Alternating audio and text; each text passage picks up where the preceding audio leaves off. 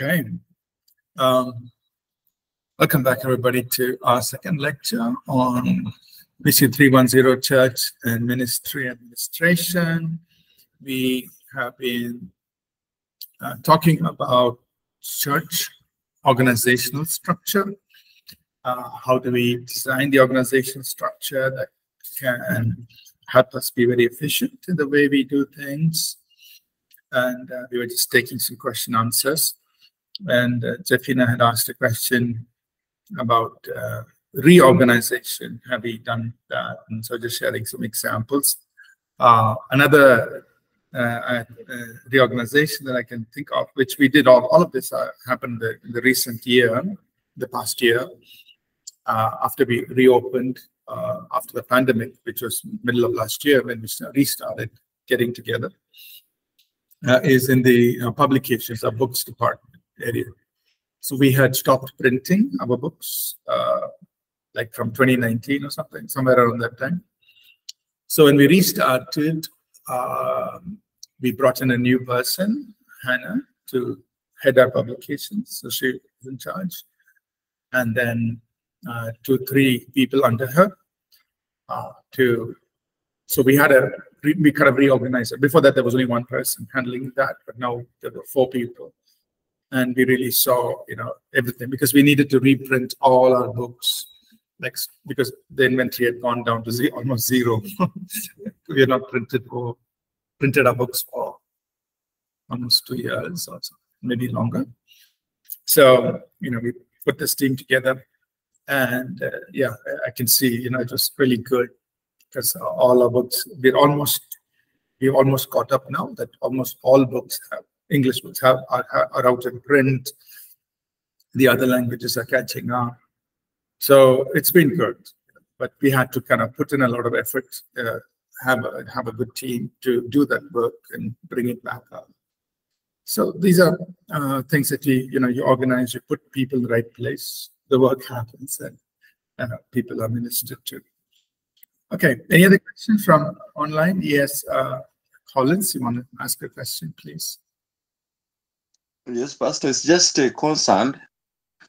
The few years I have been in leadership, like uh, when you move a person, unless if it is like a promotional, when you're like you're getting a person from a lower level to another level, but usually there is a we, we usually call it a monkey on in my side here. That person lives with a monkey from this office to the other and you just as the word of God says that uh, it's an, a two-edged sword, that person, when his character can become two-edged sword in a way that it can cut that real person and the organization. So mm. I hmm. don't know how in the because I've been doing that one in the in the secular world. I don't know if there is a, a way it it doesn't bring a ripple effect, especially in the spiritual world. Thank you, Pastor. Mm. So the question, I, I, mean, the thought is that, uh, I mean, usually people are fine with the promotion uh, if you move them up, but if we move them horizontally, or worse, if we move them down, um, they no, they don't take it well and uh, then it becomes like a double-edged sword. It uh, hurts them and hurts the every, others also. So I think that's the, the thought that which Collins has shared. Did, did I say it correctly, Collins? Uh, you just spot on, Pastor. okay, okay, thank you. So uh, it is true. It is true. Uh, the question is, how do we handle that? And uh, you know, uh, it is it is a difficult situation. But I think uh, we have done it in the past, and I can just recall a, a recent, not not too distant example. For instance, uh, uh, we, you know, I, I, was heading up even the IT work that our church was doing. So from the time we started, I was uh, driving the uh, IT team and giving them direct all of that work. But then at some point, I felt it's too much, and I would like to have somebody do this. I would like, we're looking for a head of IT. Uh, and so uh, one of our senior people recommended his friends uh, to join our IT team, as all, all these are believers. So, uh, so the mistake I made was I did not do a thorough interview of this new person. I just went by the recommendation of the senior person. Oh, he's recommending this person. He said, you know, we worked together for uh, I don't know how many years before. They, they worked together, so he's good. You can hire him, and he can be head of IT. So I just went by the recommendation. Looking back, I made a mistake. I did not interview him thoroughly. Usually, especially in the IT space, we give them, you know, we do a thorough interview. I, I, I, I did not do that. I just had a nice, happy conversation. I said, okay, you know, because of the recommendation that was made. Uh, and, and then, yeah, he already had 20 years experience on that. So we hired this person. But the good thing I did was I said, we will give you the role of interim IT head for six months. If you are good, we'll make you permanent. So at least I put that in, you know. So he joined us uh, as interim IT head. But then I realized in the six months, he did not have the skills that we were looking for. So now it's a very difficult situation because I cannot make him IT head. And actually, I have to bring him down. I have to make him bring him down. I can't even keep him as interim IT head because he doesn't have the skills, he doesn't have the competencies uh, to be that role. I have to tell him nicely, say, the best we can give you is senior developer.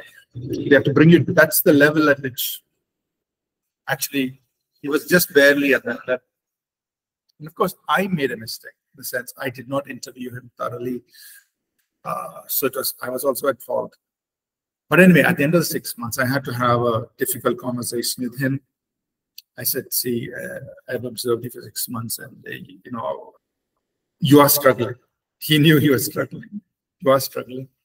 Uh, these things are not, you're not able to do, get these things done. And uh, um, so, uh, you know, we cannot make you head of IT, but we can move you to being senior developer and we cannot give you the salary that we would we would have given as head of IT. That also I have to talk. You know, so these are very very touchy things, right? But I have to talk. Uh, we cannot give you that salary. We can only give you this at this level because it was an honest assessment, right? I'm not. It is not based on any prejudice or anything. It's an honest assessment. I've seen you how you're working for six months. I've seen what you can do, what you cannot do. So we actually had to bring him down to, and he agreed that uh, he, so that that whole thing of went fine, it went well, he's happy, it's all that. Uh, so in some cases it works out fine. People have understand where you're coming from, and it's okay, everybody's happy. But not everything happens like that. Some people can get upset and uh, and leave, and that is true. But uh, we have to do what is right for the people and for the organization. We have to be honest and do. Yeah, that's a good point, Collins. Yeah. If, uh, you know, I, I, remember, for example, we had to let go of our uh, accountant in the past uh, because he refused to do something that I asked. And this was needed for the organization. I said, you know, uh, I'm giving you, uh, this was just before the pandemic you know, I, I want to have this thing done. His accountant is doing good in this work, but I just requested, you know, please get this done. And he refused to do it. Uh, I, I, was begging him, please do this. I give you another three months, do it. Second time he didn't do it. And I still don't understand why he didn't do it. But then finally I had to say, we have to let you go because he's he had good skills, but he's not willing to do something that was for the benefit of the organization. Like basically, I told him to document the accounting process, and I told him, look, we need to build our accounting team. You have to you know, you have to hire more people, build a team, uh, because uh, one person cannot handle all of the accounting work. No. So, okay, then we need the right person in this place to handle that work. So we had to let him go. So there are those difficult challenges when you're trying to create that organization structure. Some people are unwilling to change. Uh, and after giving a lot of, you know, at least two chances, two, two, three chances to let them. Uh, anyway, so let's move on. Um, I know these are all the difficult side of ministry. let's move on. All right. So we continue to talk a little bit about our organizational structure and design. Uh, there are uh, sometimes, you know, there are some limiting factors uh, in how flexible you can be in designing the organizational structure. Uh, one is the uh, the there, there could be external factors, government regulations, or uh, sometimes the trustees, if they're not in agreement to how you want to design, they could affect, you know, uh, so government regulations may you have to follow you have to follow government regulations what they say you can do and cannot do. So if the organization wants to do something example they uh, want to do some sort of activity but the government says no that cannot be done by a religious organization uh, then you cannot example running a school if the government says religious organizations cannot run a school, then you cannot run. So even if you want to do that ministry, you want to design it, you can't do it. Uh, if the trustees are not aligned, no, thank God for us, you know, our trustees are all part of the church and they're all very aligned to uh, what we're doing. But if the the board of directors, if they are not willing to accept a new new avenue of ministry, new work, then obviously you cannot go forward. There could be internal limitations, maybe uh, there are not the suitable resources not there, people are not there, finances. Now, one of the big challenges that uh, we have found in church ministry is finding the right people. You know, so because in the church, of course, you have to hire believers. You have to hire people who believe, you know, who are faith, uh, believe in the Lord Jesus Christ. And they also have to have the skills. So you need both. And it's not very easy to find that. So it is a struggle, you know, especially in areas like technology or media or, you know, administration. You, for example, accounting. Yeah, you need an accountant, but you can't hire any accountant. You need a accountant who's also a believer because this is a church and they need to understand how church functions, ministry functions. Of course, we have outside auditors who are not believers, that is fine. But the day-to-day running of the accounting has to be done by a believer or IT team or media team, all the others, right? So uh, uh, the challenge is to find people with the right skills who are, who are believers. That is, uh, so sometimes uh, that itself limits. For example, right now, there are so many IT projects that I want to execute for the church.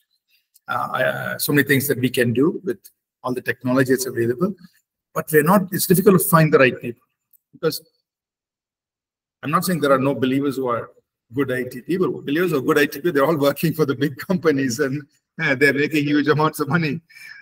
To convince them to come and work for the church is not an easy thing, you know, because they're working for big corporations, they'll be making five, six times the salary that the church would pay.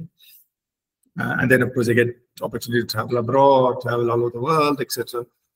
So, to find good people with technical skills who will come and work for the church so that we can do the projects we want for the church, for the ministry, uh, is a challenge, you know. So, but we have to trust God that He'll send the right people, move their hearts, and they will come and say, I want to work for the church. I want to use my skills. And similarly, we also have to be careful about money. You know, we, uh, if you have the money, we can do the work. So, Um, culture, organizational culture is important. Uh, we will talk more about the culture of the organization. Uh, there should not be, you know, conflict in the culture of how what we're creating. Uh, example would be if by chance, if the culture, the mindset of the people is very hierarchical, oh, I am more senior than you, how can you talk to me like this? Or I have been here longer than you, so you have to listen to what I have to say. It's a very hierarchical mindset, you know. That's not a healthy culture. Healthy culture is okay, you're a new person, you're a junior, but you may you may have a better idea than me. I should be open. Uh, you may be new to the organization, but uh, you may be bringing some fresh ideas. Uh, I should be open, you know. So uh, the, we have to make sure that the culture of the organization gives us the ability to adapt the, the structure, to change the structure, well, bring new people in, try to do new things. And we shouldn't be so rigid, so hierarchical, so, you know, uh, thinking that I'm senior, I'm better. Should create that culture. We'll talk about the culture, how we create that. And we should also avoid politics, uh, internal power play, all these things. So um, I'll just uh, share with you a little bit about our current organizational structure. This is only to give an idea. I'm not saying uh, this is the best. I'm just saying this is how we are, and uh, this may change over time. This keeps changing. You know, like I said, we keep moving people around and so on. But uh, so this is kind of what we, broadly speaking, our organizational chart. Um, um, now, I, I, I, want to say one thing. We didn't start like this. Right? when we started, we started with one person. you know, I was there, uh, Amy and me, we were there, my wife and I. And then we started, and going back to 2001, I had to do everything. I was master, accountant, sound and setup, media team, member kit. I was everything. Right. So I still remember Sunday mornings, I would move all the speakers, then go, we'd go to the place where we we're having the service, go early, then connect all the mics and uh, putting arrange the chairs, wipe all the chairs, uh, put the projector, put hang the screen. And before that, I had to prepare the slides. The, we used to use those. Uh, those days we didn't have computer PowerPoint. We had uh, that uh, overhead projector, that that thin films, you know.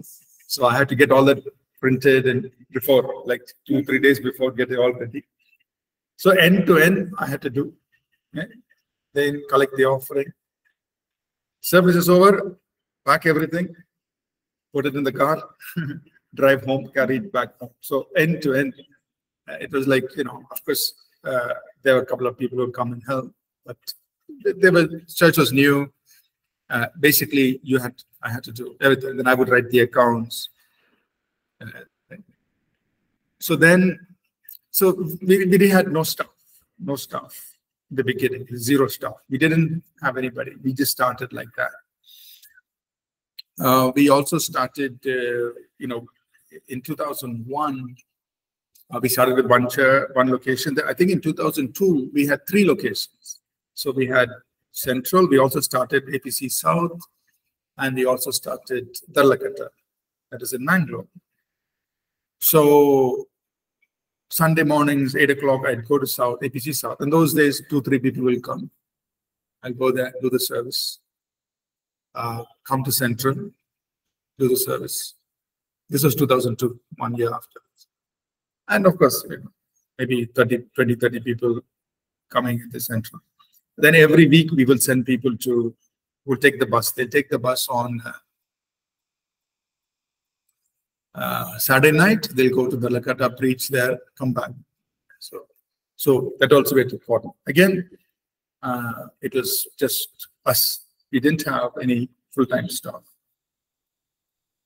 Uh, I think maybe it was more in the uh, latter part of mid or latter part of 2002, somewhere there, we hired our first person, first staff person. But he was not full time with the church. he was actually hired as an admin for the company. And I would say, okay, half your time you give for the church admin work, half the time you work for the company. So he was like, but he was on, on the rolls of the company. He was not like paid by the church. So that was he was our first person, you know, like but he was paid by the company, he would do admin work for the church. So if we needed something, he would do it. So we started like that. So very, very simple. Uh, you know, nothing, we didn't have any staff and all that. So I think it was only in, again, I may, I may remember, may not be correct on the year, but I'm thinking it was 2005 or something, 2004 or 5 that we hired. Uh, so we had a part-time children's church pastor. So he was part-time. Uh, we just gave him a honorarium. He just. But the first people we hired full-time was only in uh, uh 2004 or 2005, maybe 2005, if I remember correctly. So that we're, we're almost saying five years after we started, uh, we had uh, full-time staff. So we hired a youth pastor and we hired uh, an administrator, full-time church administrator. Pastor Jayakumar joined us as our church administrator first. So the point is, it was kind of almost five five years later, in 2005, that we actually hired full-time staff. So we didn't start off with full-time staff. It was very slow. We started with very basic. And then over time, over time, know, as time progressed, we were able to create some structure. The organizational structure grew. Right? We started hiring more people. There were more ministries started, and more things started happening. So, so this is where we are today. If you look at the chart, so we have our trustees, uh, the four people who, are, uh, sorry, five people who are the board of directors, who are the legal uh, people legally responsible for All Peoples Church, the trustees. The advisors, like I mentioned, they are people we just go to when we need advice. So they are there. They're not. They're not, uh, you know, office bearers, or they're not. They're not involved in what we do. You just go to them for advice. So they are there. Uh, the senior pastor. So me as a senior pastor, I'm I'm responsible, overall responsible, and uh, I have to be accountable to the trustees. Right? So now we are all peers. So I'm not like, uh, oh, I'm fear and trembling of the trustees. No, they're all uh, like Pastor Jacob, others, they're all there. But they can ask me questions. They can tell me, uh, and I will discuss with them. I will ask them questions. Or any major decisions, I always keep them informed and they may tell me, yes, no, try this, do this. They give the guidance. So for me, that is a good, uh, what to say, a check and balance, right? So that I can go to them, tell them, especially for big decisions. I don't do it on my own, and I, it is not good for me to do it on my own. It is good to have this group of people. I submit the information to them, share with them. I can share my thoughts. They give inputs. Yeah, yeah, go ahead or check this, check that. And so then I have to check and I have to, you know, share the information. So uh, it's good to have these this uh, board of directors or trustees uh, who can oversee me and what I'm doing. And then in turn, I have to oversee others. Uh, now, I cannot go down to and check every person's work, cannot do that. So it'll be mainly the pastoral team. So a pastoral team made of associate pastors, or worship pastors, uh, people who are having pastoral responsibility. It'll be mainly our ministry leaders, those who are heading up ministries, and the main people in our administrative teams. So the people who are heading up different administrative teams, they will report to me, right? Now, wherever there are no, like for example, we don't have a head of IT, so I'm actually uh, leading the IT work, overseeing it and telling people what to do. Um, and there may be areas where we don't have people, then I need to fill that role and take care of those things. So basically, under the each pastor, there will be volunteers and other pastors working, serving there. So again, not uh, not all have assistant pastors yet, but in the future we have room to grow. As the number of congregation grows, we'll have more pastors serving there in those locations and so on. So we have these locations. And then in the ministry areas, we have some will be staff, some may be volunteers. We also have life group leaders and the different ministries that are happening. And then uh, the departments. These are all the functional departments, you know, like accounting, administration, communications, HR. So again, HR, we don't have a person right now, so I'm handling that as well. Um, legal, we have an outside uh, legal person uh, and, and other areas, right? So usually in all of these areas, there's somebody who's leading that and that person will report back to me. We don't have head of operations right now, but that's uh, we're looking for people. Like many of these uh, areas, we need good people. So we haven't filled them yet. Uh, when we find the right person, we'll put them in. So head of operations is open uh, and uh, so on. So this kind of the overall structure we have. Uh, not all these roles are filled, but we hope to fill them. Then if you look at it a little closely, each uh, functional area is broken down further into you know uh, different areas. People will do different things. Uh, initially, uh, for example, in administration, uh, initially, you know, uh, not all roles are filled and not, and one person may be handling multiple roles, but the goal is as we grow, this is what it will look like. And uh, here's where we will fill up. Same thing with publication. So you can create an organizational structure for each each uh, area, media and digital engagement, head of IT, uh, uh, information, so Okay. Before I come to this last diagram, any questions about the organizational structure? Any, any, do you want any thoughts, clarifications? So here's the overall structure. And then if you drill down into each uh, department, it will look further like this. You know, you can break it down further into each ministry area or department area, how it will work. Okay. Let me just see online if there are any questions from anybody online. Any questions from those who are online? you okay? All right. I want to just go to one last thought before we close for today, which is volunteer involvement. So the the very very important for church and Christian ministry is volunteers. Very important. Because actually, if you look at it, our church staff um, our team is actually pretty small. We only have, uh, I don't know the exact number, but it's less than 30 people who are full-time staff. So this is small, it's not big. And then we have some consultants who are both hourly or part-time. So our church staff is actually very small. But most of the work especially on Sunday in the services, is being done by volunteers.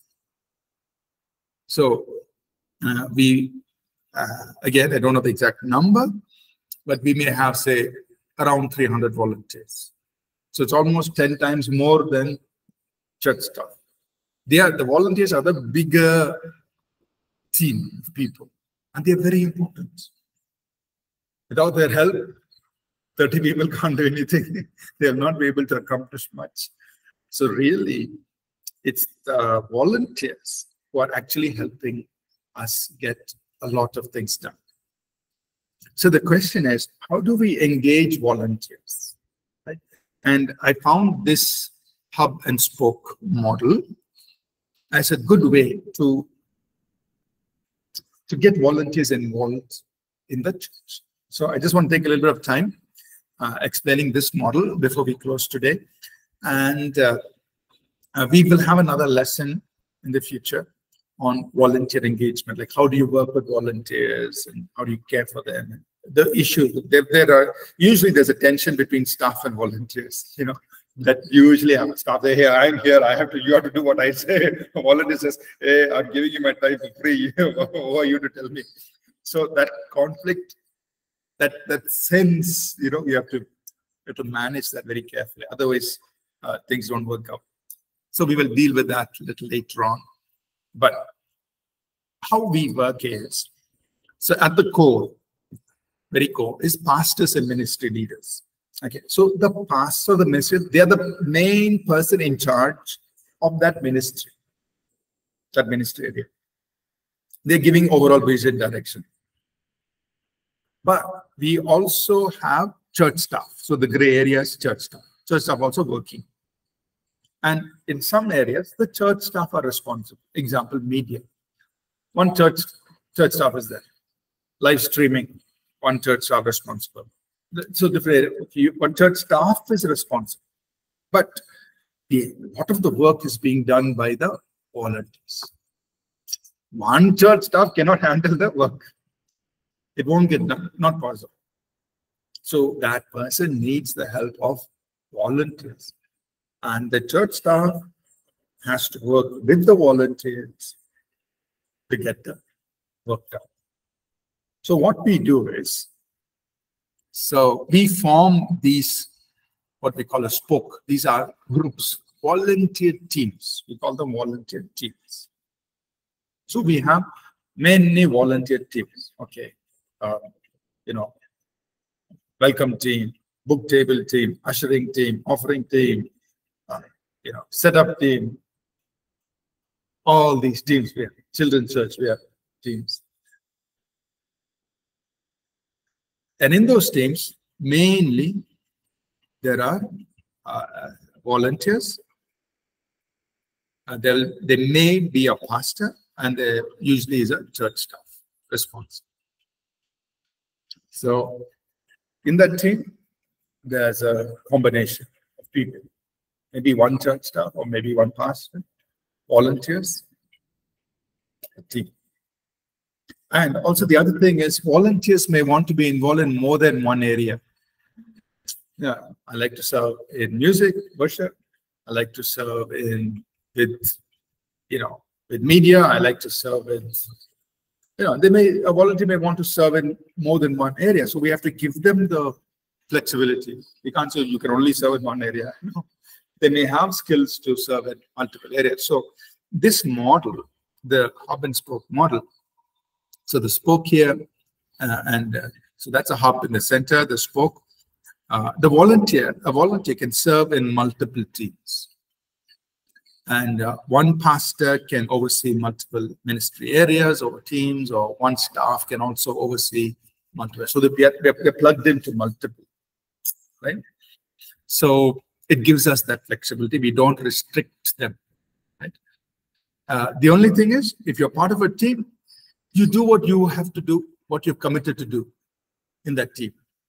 Right? If you say on first and third Sundays, I will serve in the worship team, fine. First and third Sundays, you serve. If you say second and fourth Sundays, I will serve in ushering team, fine. Second and fourth Sundays, you serve. That is, you have to be committed. Otherwise, so the team leader will make sure that the volunteers involved on the, those days. So this is how we function. So this way, pastors, church staff, and volunteers can all work together and it gives flexibility. Volunteers can serve in more than one area. Uh, they can engage in more than uh, one ministry area and be involved. Whatever they like, they can do in which area. So uh, I'll just close close with this. Uh, the hub and spoke organizational model for engaging volunteers. Uh, there are teams for different uh, ministry areas. And uh, you can engage pastor staff and volunteers. People can serve in multiple ministry areas. If they're interested in more than one, that is fine. We don't prevent them. And uh, it's easy to add new ministry area, new ministry. Just one more spoke, just one more. Something new comes up, fine, we can do it. Yes, who wants to volunteer? Come, so, so it's easy to keep growing, right? So we, we are not limited. We can add new spokes and uh, you know teams can be assembled and disassembled very quickly. Right? Uh, just last few thoughts. Uh, uh, when we are designing an organization, you may think about national or global organization in case you want to cover different regions of the world or different cities. Uh, you, you, can think about that. What right now we've shared is only for you know a local church or a ministry. But if you are doing something global, the structure has to support that. And last thought is um, the organization should be data driven and should be technology enabled. Right? Now, this is an advantage we have today that we can collect data and we can make our decisions based on actual data. See, when we didn't have data, you have to think and guess and do something. But now you can actually have data and based on the data, you can make good decisions. So, and technology. We also have technology. So two things we have for our advantage, data and technology, which we should use when we are making decisions. Right? Now, of course, the Holy Spirit will lead us, but make use of the data, make use of technology, and then listen to the Holy Spirit as you are growing, leading the organization. So we will talk about a little bit about that about technology. In this course, uh, next year, next semester, we have a complete course on media and technology. We'll get into the details of all the technology that we can use. Okay, so I'll stop here for this lesson. Uh, any questions? You all with me? I hope you're not finding it boring or okay. This is all the the the the other side of ministry that we don't talk about. All good, Pastor. Thank you. Sorry, yes. For each person Ah, so the way we are set up now in our locations is uh, we have an associate pastor for each location. So the associate pastor is fully in charge of that location to that And uh, of course, I will try to go and visit now and then, but they are run, they are in charge. Uh, initially, I used to go. So, for example, yeah, uh, there was a time when I should do south at 8 o'clock, Central at 10.30, North at 4.30. So started like that. And those days, everything was very small. Morning, I go to South, maybe four people are there. Come to Central, 20, 30. North, four people. But that's how it all started. You know. And uh, then the numbers grew. Then as the numbers became more, then we handed it off to a pastor, associate. They're running. They'll run Then East also, West and East. So we started West. Same thing. West, there'll be two, three people. East was a little better because a lot of, when we started, uh, people from Central moved to East. So that was a bigger group, say about 20 people. They all came to start East. But that's how it started. Very small group. I, will go to, to West or I'll do East. Once it's grown up, uh, the numbers increase, hand it off to some pastor.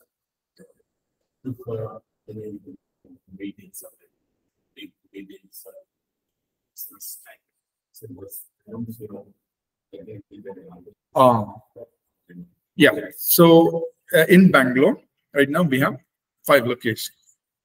So throughout the year, they'll all be meeting at their own locations, the churches, and there'll be the associate pastors involved.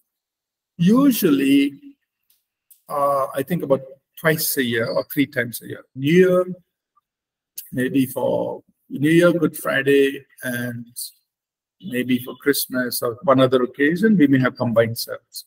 But not too, too often. I would say maybe two or three times in a year, uh, we would have a combined service. The New Year's service is always a combined service. So they'll all we'll all try to come in one location. Uh, so maybe two or three times max.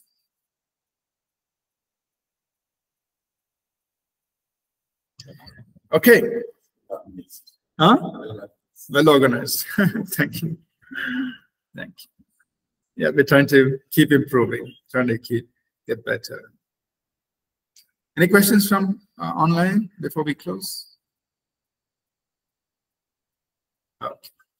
All right, let's close in prayer. Thank you for being on the class today.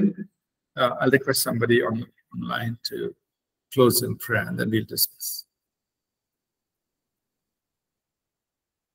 Lord, we thank you for this opportunity to learn uh, regarding church administration. And Lord, we thank you that uh, we could understand the importance of being in order and to continue to uh, grow more with you, O God. We ask that your wisdom and your understanding would rest upon us and lead us forward, God. Let your Holy Spirit guide us.